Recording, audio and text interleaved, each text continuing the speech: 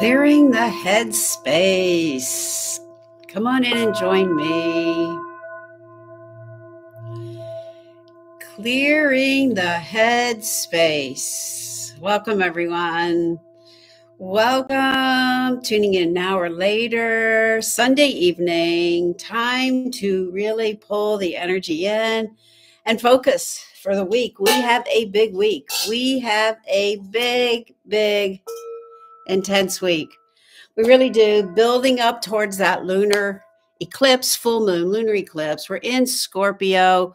There's a lot building in the cosmos. So just take a moment, take a breath, notice what you feel. Hey, Ernest, how are you? On the other side of the world, how's everything over there? A lot of intensity in the world, as we were saying, a lot of intensity. so there is also a lot of old energy, old judgments, old feelings, lots of fear, lots of rage, all of that kind of surfacely floating around in the universe. What are you attracting into your own perception, right? It is going to be an intense week. It really is. So, welcome everyone. Terri Ann Heiman here. This is my Empowered Spirit Show. We come on live. We talk about the podcast. We also talk about the cosmic forces, and I will pull some cards. Doing well. Okay, good, Ernest. Yay. So, yes, it's going to be an intense week. It really is. It's going to build as we get through. We're going to start an Aquarius energy, some of that water, air, dreamy. And then we're going to move into Pisces, which is more of the water energy, I should say, as we get into Taurus by the end of the week for this full moon lunar eclipse. It's the last of the eclipse. It's more intense. We've got the Scorpio energy, a lot of conjunctions going on. But the thing is, all right, new moon we set the intentions. Full moon, we're still building, building. So it is going to feel more intense. It always feels more intense on the full moon. We just have more emotional energy. We feel fuller of our emotions. We're holding. And so, like full moons, this is going to feel even more intense. But what we want to do, we're in like this portal of energy. We've been in it since last week. We've got all this week. And we want to kind of go through this portal of energy. And it's kind of like, whew, open up open up to whatever it is you want to move through. It's like this is about change. The cosmos want to help you move through, get out of the comfort zone, open up to new paths. I know it's not easy. All right, I know I have my own work to do, but it can be swift if you want it. I can already feel the intensity too. Ernest, I can too. I noticed it today. Had to kind of pull back my energy, had to create some boundaries, had to say some no's, which is what you may have to do all week lot of energy pulling in the cosmos. But the best thing that we can really do, come back to our center, come back to connecting to source, not pull away, not feel isolated, not feel lonely. And we do that because we feel like we're the only ones, we're not reaching out. So this full moon eclipse can also help you to recognize, get a little help, Go ask somebody to talk to you. Maybe even get some therapy, get some spiritual work, get some healing work, right? Definitely. I know I have been. I've been getting my own treatments and working with my own energy. And I think that's really important because the eclipses have the potential to make big, swift changes. So you've been working along, working along, and here we open up to this portal of energy. Chances are you can move through it in a little bit easier way. All right, these eclipses and this energy is here to help all of us, all of us evolve. We need to change. We need to go through that kind of energy intensity to kind of really, you know, it's like stretch, come back and center, right? It's like that's what we need to do. So this week is offering you that opportunity to really take note your relationship with yourself. First and foremost, we talked about this in the last eclipse when we can find peace within ourselves. Everybody else around you can do the same. And then we all can live in this beautiful connected energy of feeling more peaceful and less judging, right? So this week, it's going to be a very important week to really find some courage in how you want to show up, how you want to make changes. The best way to do it is take some time for you, ground your energy, feet on the earth, pull into your heart, feel that connection with greater source, spirit, creator, co creating your life take some deep breaths and really ask yourself, what do I want to change?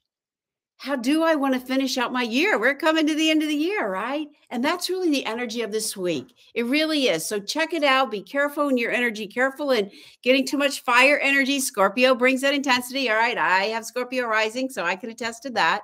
Note where your own energy is. Practice breathing, meditation, Reiki, any of the healing arts that can help you really move through your energy is going to be very powerful. So, this week on the podcast, great guest, Reverend Valerie Love. She talks about witch energy. She has a new book out, Witch. And she really also talks about Christian witch and how it's time. And I love this time to open up perspective and blend our modalities and allow everybody to show up at the sacred circle. Bring your Bible, bring your crystals, bring your wand, bring your broom. Does it matter? No, it doesn't matter because they were talking about the witch's code in there. I love the I love the podcast, the integrity to know, to dare, to will, to be silent, to really have the integrity to learn your practice. I love it. And right now, more than ever, really opening up to the way that you feel, the way that you can navigate, create magic in your life is so important. Great podcast. Check it out. Power Spirit Show. You can find it on any of your podcast platforms. Shout out to my guest, Mert, over at Hair at uh, Forecast Salon, also Club Forecast Salon. Check them out for sure. And thank you for sponsoring us. That's that's really greatly appreciated just had my hair done actually last week. Give them another shout out. I appreciate my sponsors and I appreciate all the support, all the support we have in our community to help us make new changes. You know, it really is important right now. So, as we go to move through this week, what you want to do is find ways to ground your energy, pull it in, notice the fullness. All right, everybody's going to be talking about put your crystals out. Sure, you can. I've got a guest coming on this week about the crystals. We didn't really talk about that, but it is up to you how you want to work with your crystals. The full moon just reminds us don't forget to really put some attention into your crystals. All right, you may hear that coming up as well. But whatever you can do to start preparing yourself for this week is going to be very helpful to center to ground and to know what those steps are to make those changes. All right, don't be alone in the world. Reach out, find a circle to connect with. Really important that you can feel that community and not the isolation. Starting out this week, Aquarius. Tomorrow, Tuesday, we'll move into some Pisces, which is deep and sensitive. All right. And then we'll move through the Aries until we get to the Taurus at the end of the week, which is what the energy of the eclipse energy is about. Taurus ruled by Venus, our beauty, our money, our relationships, all of these things are coming around again for us to view. And I always like to say, go back to that relationship with yourself first and foremost. All right. So let's just take a moment, center our energies, set some intentions for where you are. So if you can, find something to light. Fire is transformation, a lot of fire in the skies. Taking a nice deep inhale and exhale, calling in the element of fire. Feeling that spark within yourself watching as it moves and changes and calling in air, the element of air. See the smoke, smell, cleanse the mind, cleanse your space. Taking another deep inhale, dropping right into the heart, opening up to the element of water. Let water just wash right through you. Calling in the element of earth, grounding, centering, very important as we move through this week. Feel Mother Earth under your feet. Offer her some love, some gratitude. Taking another deep inhale, breathing up the body, and exhale, just dropping right into the heart, calling in your spirit. Feel the spiritual body coming in, call it in. feel it connecting to the greater source, co creating your life. Taking another deep inhale, breathing up the body. And exhale, breathing all the way back down. Taking a moment, pausing in the center of your heart Taking a moment so I don't choke.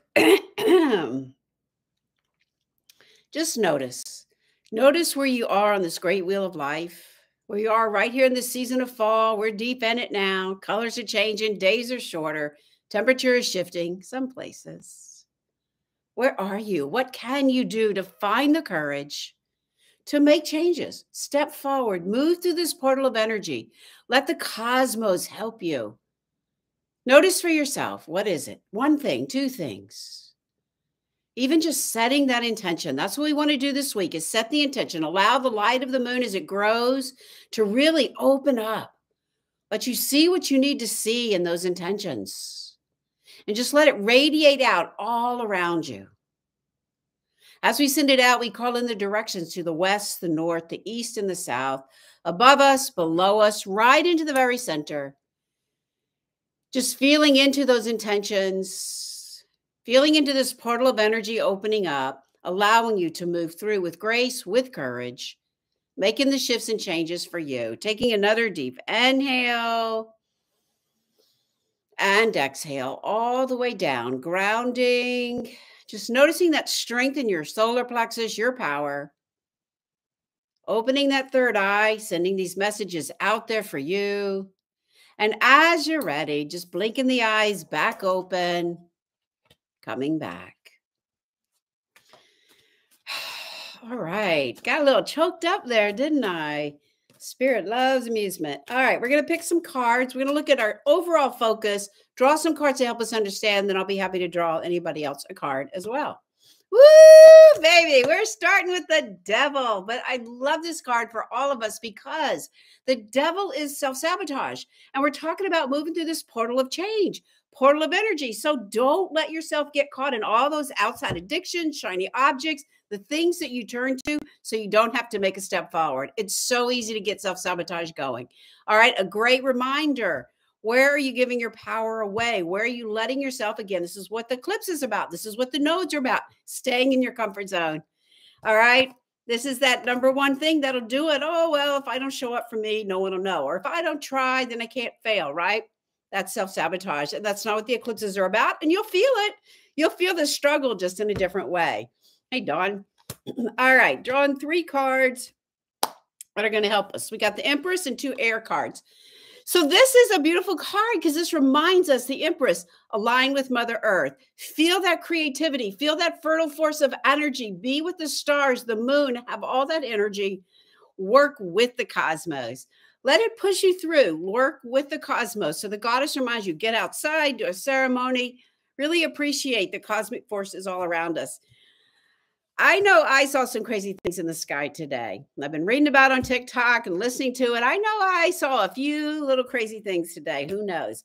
All right, but be in touch with Mother Earth and notice what you notice. We'll leave it at that.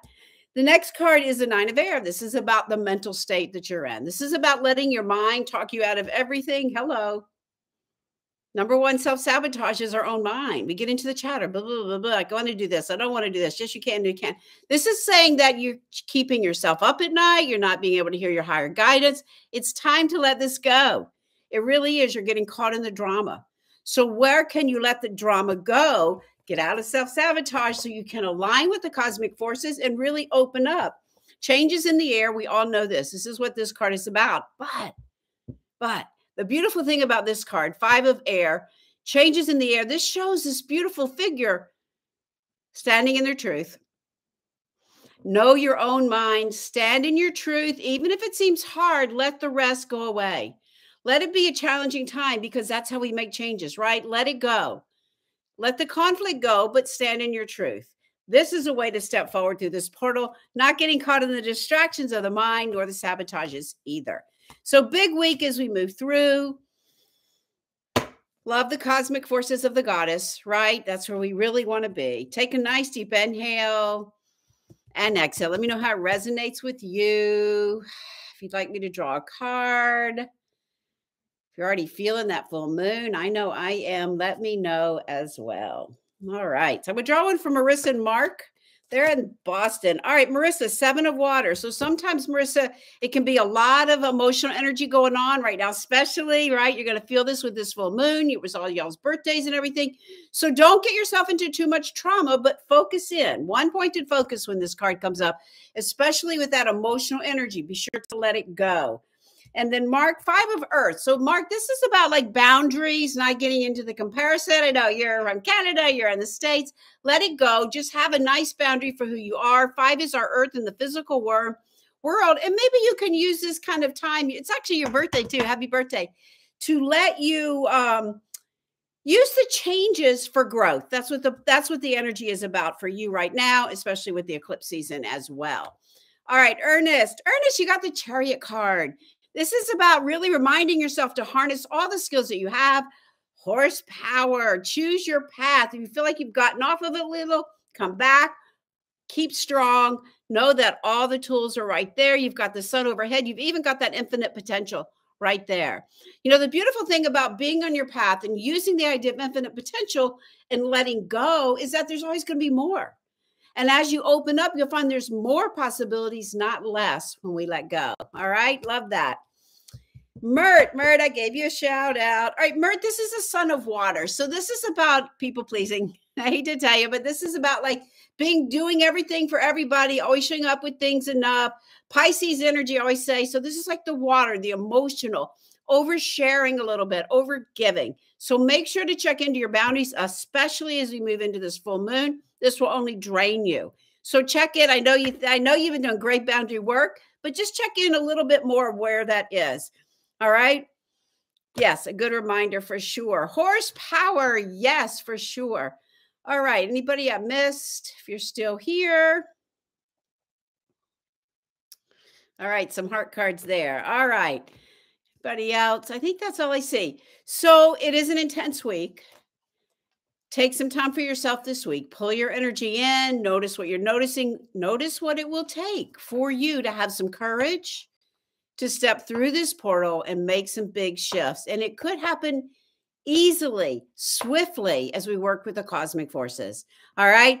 Let's see. Before I before I sign off, let's see. I had a couple announcements. I'll be at Ritual Shelter Saturday reading cards. Come find us there. We'll be having lots of fun Saturday all the way through Halloween. Lots of fun over there. I know she's having a celebration.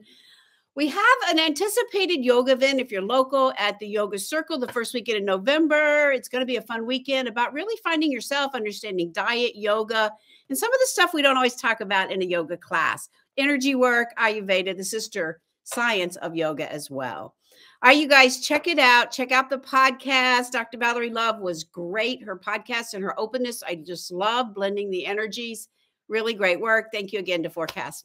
All right, so let's go to close the energy. Take a nice deep inhale and just exhale all the way down, deep into Mother Earth, coming back into the heart feeling into your emotions, feeling into your intentions as you set them this week. Feel strong in your power, heart opening, third eye shining your light. Inhaling and exhaling, bringing the awareness back, grounding, centering, blinking the eyes back open. Thanks for joining me. Have a great week to your spirit. Namaste.